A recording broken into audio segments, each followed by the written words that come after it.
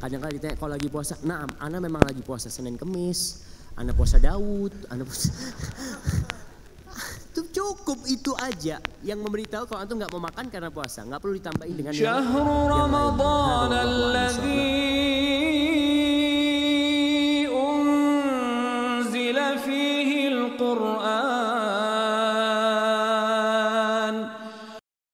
Assalamualaikum warahmatullahi wabarakatuh. Alhamdulillah salatu wassalamu ala Rasulillah. Pada kesempatan yang bahagia ini kita akan menjelaskan tentang bagaimana cara pelaksanaan sholat Id eh, di rumah karena bisa jadi kita tidak bisa melaksanakan sholat Id di lapangan karena eh, ada halangan.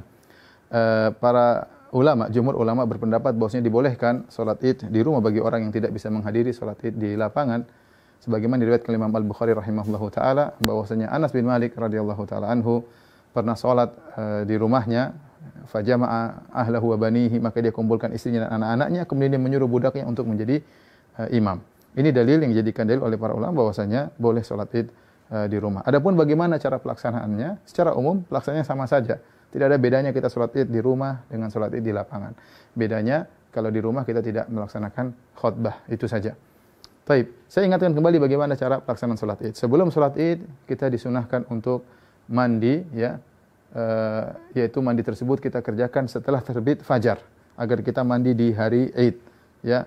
Setelah itu kita disunahkan juga untuk makan eh, korma dalam jumlah witir ya. Mau tiga mau lima mau tujuh karena itu sunnah Nabi Shallallahu Alaihi Wasallam. Kenapa kita dianjurkan makan korma? Untuk menunjukkan bahwasanya hari tersebut adalah hari al fitr al fitr secara bahasa artinya berbuka. Idul fitri artinya hari berbuka artinya kita sudah tidak puasa lagi. Maka kita tunjukkan bahwasanya kita berbuka. Sebagaimana kita berpuasa karena Allah kita berbuka juga karena Allah dan Nabi SAW segera menunjukkan berbukanya tersebut. Kalau tidak ada korma maka Allah mengatakan boleh makan yang manis-manis.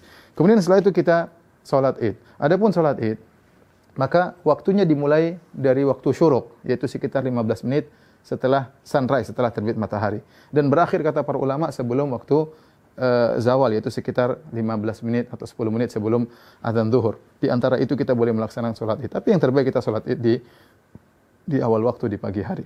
Adapun pelaksanaannya maka kita bertakbir rakaat pertama tujuh kali, rakaat kedua lima kali takbir.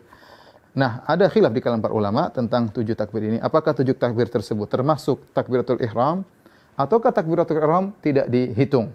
Ya, takbiratul ihram tidak dihitung. Ini pendapat Imam Syafi'i rahimahullahu taala dalam kitabnya Al-Um bahwasanya takbiratul ihram tidak dihitung. Jadi bagaimana caranya? Kita bertakbir dulu. Allahu akbar. Ini takbiratul ihram. Kemudian kita baca doa istiftah. Setelah kita baca doa istiftah, baru kita bertakbir tujuh yang disebut dengan takbirat zawaid, takbir tambahan.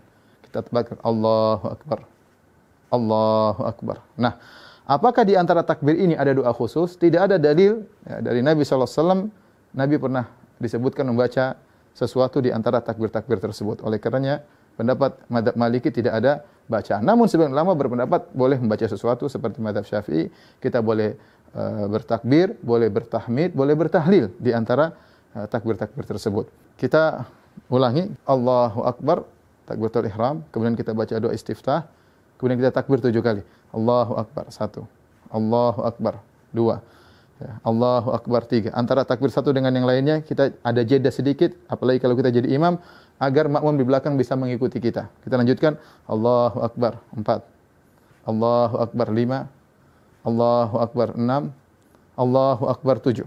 Setelah itu kita ta'awudz, kemudian kita baca Al-Fatihah. Setelah baca Al-Fatihah, kemudian kita baca surat. Nah, surat ini kita bisa baca disunahkan baca surat Sabbihisma rabbikal a'la atau kita baca surat Qaf ya. Salah satunya sunnah seandainya seorang baca surat yang lain juga tidak jadi masalah. Setelah kita selesai baca surat, maka kita ruku Allahu Akbar ya seperti biasa. Kemudian kita sholat sampai kemudian kita pada rakaat mau naik ke rakaat kedua, tatkala kita sujud ya, kita sujud, kemudian kita mau bangkit ke rakaat kedua, maka kita bertakbir. Allahu Akbar. Nah, takbir dari sujud menuju ke rakaat kedua namanya takbir al-intiqal. Yaitu takbir perpindahan dari satu rukun ke rukun berikutnya dan itu tidak dihitung, tidak dihitung. Nah, rakaat kedua kita bertakbir lima kali. Takbir tadi nggak dihitung, kemudian kita takbir lagi. Allahu Akbar. Satu. Allahu Akbar. Dua. Allahu Akbar. Tiga, Allahu Akbar. Empat, Allahu Akbar. Lima. Kemudian kita baca Al-Fatihah dengan jahar. Kemudian setelah itu kita baca surat, disunahkan kita baca surat Al-Ghashiyah atau kita baca surat Qaf, eh, surat Al-Qamar, kita baca surat Al-Ghashiyah atau kita baca surat Al-Qamar. Kalau tidak kita baca surat yang lain tidak jadi masalah. Kemudian kita selesaikan salat kita. Nah, setelah salat apakah ada uh, khutbah? Jawabannya Anas bin Malik ketika mengumpulkan anak dan istrinya beliau tidak berkhutbah. Oleh karenanya asalnya kita tidak berkhutbah. Namun sebagian ulama seperti Ibn Qasim dari Madhab Maliki mengatakan jika berkumpul banyak orang maka ada yang berkhutbah maka itu baik. Tidak mengapa, tidak uh, terlarang ya. Eh, demikian tata cara singkat ini semoga bermanfaat bagi kaum muslimin. Semoga Allah menerima ibadah kita. Wabillahi taufik. Assalamualaikum warahmatullahi wabarakatuh. Assalamualaikum. Waalaikumsalam warahmatullahi wabarakatuh. Ahlan wa sahlan. Halo Ustaz, tanya Ustaz lebih mudah.